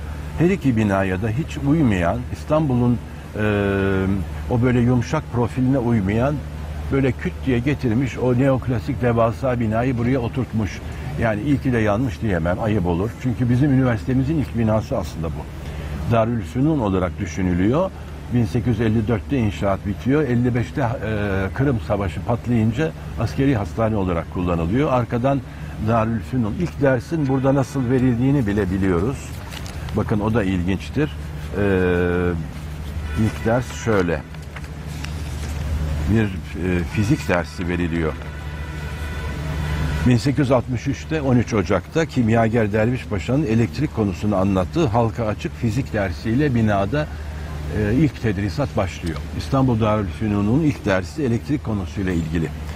Ondan sonra Maliye 1864'te yalnız hemen bir sene sonra Maliye Bakanlığı'na veriliyor. Sonradan Adliye e, nezaretine veriliyor ve Cumhuriyet döneminde de 1933 yangınına kadar İstanbul Adliyesi olarak kullanılıyor. Aslında kagir duvarları olan bir yapı bu. Yani yangın geçirse de tümüyle yıkılmayabilirdi. E, ama dediğim gibi İstanbul'un e, doğrusu silüetine ve Ayasofya'ya, Ayasofya Sultanahmetli ikilisine çok yakışan bir bina değil ama yine de kalabilirdi diye düşünüyorum. Harika bir müze olurdu mesela. Bugün hiçbir şey yok yerinde. Ee, ben yönetmenimizden rica edeceğim. Ee, bu panoramayı belki baştan sona şöyle bir e, Tabii. gösterebilir. Ee, en İsterseniz sol... pa- şöyle gidelim mi? Evet lütfen Bu siz işte anlatın şimdi hocam. bahsettiğimiz çeşitli işlevlere tahsil edilen bina. Ama ben yine Darülfünun demekten hoşlanıyorum. O mensup olduğum kurumdan o. Ayasofya'nın kendisi. Padişah türbelerini burada görüyorsunuz. Haseki Hürrem Sultan'ın hamamı. Ayasofya hamamı olarak anılır o da. Ondan sonra burada imaretin kubbelerini görüyorsunuz. Aşevi'nin. Biraz önce barok kapılarını gördük. Topkapı Sarayı'nı sınır, sınırlayan Suru Sultani. Ee, Topkapı Sarayı'nın birinci kapısı Babı Hümayun ve Babı Hümayun'un üzerinde Fatih devri eseridir bu da. Günümüzde mevcut olmayan köşk. Suru Sultani bitişik bir dizi ahşap ev var. Günümüzde bunlar e, turistik amaçla kullanılıyor. Birincisi dış görünümüyle bir ahşap konak gibi fakat aslında bu Naziki Tekkesi. Halveti tarikatının Şabani koluna bağlı. Son dönemde en azından Kastamonu'yu bilir misiniz? Kastamonu'yu çok bilmem. Orada Şaban Veli Hazretleri türbesi ve dergahı vardır. Halvetiliğin Şabaniye kolunun piri. O kola İnşallah bağlı gidelim. olan bir tekke. Üçüncü Ahmet'in çeşmesi burada dönüyor. Yani panorama buraya geliyor. Üçüncü Sultan Ahmet'in bu da önemli. Tabii Lale devrinde yapılmış Üsküdar Meydanı'ndaki çeşmeyle beraber ve Osmanlı şehrinde çevresinde meydanı tanımlayan bir unsur. Bizde batıdaki anlamda meydan yoktur. Hala da meydan yapmayı çok beceremiyoruz biliyorsunuz e, örneklerden belli. Ama hemen sarayın yanında ve Ayasofya'ya komşu muhteşem bir meydan çeşmesi. Fakat burada bir... Hani e, nerede o muhteşem Burada. çeşme? İşte bu. Fakat şurada parmakla göstermek daha güzel olacak galiba. Fakat burada bir hata var. Arazi çok e, dik bir şekilde Marmara'ya doğru iner. Halbuki bu panoramaya, bak, panoramaya baktığınız zaman sanki düzmüş gibi duruyor. Burada da Aya İrini'yi görüyorsunuz. Birinci avluda Ayasofya ile çağdaş olan yine diğer bir kilise. Bu gravürler aslında çok da birebir olmuyor galiba değil mi? Ee, şimdi mimar kökenli birinin yapmış olması bunu diğerlerine birçok başkasına oranla daha sadık e, kılıyor aslında ama tabii ki e, bir takım deformasyonlar, distorsiyonlar söz konusu. Ama mesela Melling'in e, çiz- Melling, Melling'in çok e, şeydir bakın Melling'in gravürleri e, ortadan kalkmış bazı mimari unsurların bilinmesi restorasyonda açısından avantaj. restorasyonda e, ona bakarak nasıl yapılacağını e, belgeleyecek kadar aslına sadık. Ama şuna ben şaşırmıştım. Ee, haremde namaz kılan kadınları tabii orada illaki hayali Hmm. Evet, e, çizmek tabii. zorunda ama böyle erkekler gibi namaz kılarken göstermiş. E, o kadar bir hata o olacak kadar da yani, olsun gayet Pelin tabii, diyorsunuz. Sevgili hocam size bir şey söyleyeceğim. Tabii. Süremiz bitti. Nihayet mi diyorsunuz Hayır yoksa estağfurullah etiketimizdeki nihayet gibi? demiyorum. Ben de bu çeresizde bu sabır olduktan sonra Ay, çok hayır büyük yani bir zevk. sabah namazına kadar da konuşabiliriz ama herhalde izleyicilere baygınlık gelir. Bu Çok kadar teşekkür yeter herhalde. ederim. Bence harikaydı. Ayasofya kelimesi ne anlama gelmektedir? Ayasofya kelimesi ilahi hikmet. Kutsal Ayaso- hikmet. Evet. Tamam bu cevapları doğru kabul edeceğiz. Ayasofya'da ilk cuma namazını kim kıldırmıştır? Ben Akşemseddin diye biliyorum. Hünkar mahfili hangi padişah döneminde yapılmıştır? Bugünkü Hünkâr Mahfili Sultan Abdülmecit döneminde. Evet. Çok teşekkür ederim Ben hocam. teşekkür ediyorum. Ee, sizinle böyle bir günü, böyle bir e, geceyi paylaşmak benim için hakikaten e, Bakın Ayasofya keyif Kürsü. Şeyhini soracaktınız. Ayasofya Kürsü Şeyhini soruyorum. Hmm, Çünkü onu atlamayalım. Tamam. Ayasofya'da cuma namazını mütakip vaaz veren çok önde gelen kişiler. Ayasofya Kürsü Şeyhi. Burada ilginç olan bir ayrıntı var. Hem e, medrese ilimleriyle mücehhez olması lazım bu kişilerin hem de büyük bir kısmı bunların aynı zamanda sufi şeyhleri. Yani e, Ayasofya kadar önemli bir yapıda halka İslam dinini anlatacak kişinin tasavvufun süzgecinden geçmiş insan olması tercih ediliyor yönetim tarafından. Bu çok önemli. Kesinlikle. Ee, çok teşekkür ederim Tamam. hocam. Bu gece bize çok e, tweet geldi. Ee, insanların genelde üzerinde durduğu. Mesela hep böyle İbrahim Paşa e, isimli seyircimiz demiş ki nihayet Allah bize merhamet etti, lütfetti. Açılış gerçekleşti. Emeği geçen herkese yetkililerden de Allah razı olsun. Çok teşekkürler. Ve sizin e, programınızda da yıllardır e, bu programları yapıyoruz. Tabii ki bu gece de ayrı bir güzel oldu. Size bu manada ben teşekkür etmek istiyorum. İki yıl önce sizde yapmıştık. O- Evet. 2002'de inşallah o zaman. Aa o kadar arayı açmayalım. Bilmem vallahi. Ee, Tuğba Hanım'ınkini de okuyalım. Bizi bugünlere ulaştıran, bu kutlu güne tanıklık etmeyi nasip eden Rabbime şükürler olsun demiş. Kavuştuk mu ey sevgili? Kavuştuk nihayet demiş. Güzel. Emeği geçen herkese çok çok teşekkür ediyorum. Size teşekkür ediyorum. ben teşekkür ediyorum. Ee, nihayet dedik aslında nihayet her şeyi açıklıyordu. Duygularımız bir sizlerle. İzlediğiniz için teşekkür ediyoruz. Yapımda ve yayında emeği geçen tüm arkadaşlarım adına sizleri selamlıyorum. Güzel günlerde, güzel haberlerde yine böylesine hoş e, zamanlarda buluşmak üzere. Hoşçakalın. Cuma gecesini de unutmayın. Bize zaman ayırın. Bu ekranda olacağız gündem ötesiyle. Hoşçakalın. Geçmiş olsun hocam. Teşekkür ederim. Ayasofya Staćemo pred tebe uspravno bez stida Bit ćeš